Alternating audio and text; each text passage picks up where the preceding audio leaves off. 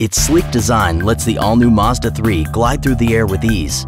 Subtle shaping of the front and rear help the air flow smoothly around the body. In fact, its coefficient of drag is one of the lowest in its class. Sleek aerodynamics help cut down on wind resistance, which translates into less noise and a quieter ride.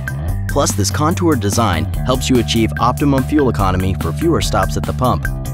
The new body incorporates high tensile steel in key areas for added strength without adding additional weight. Bending stiffness has been improved by 7% for less body flexing.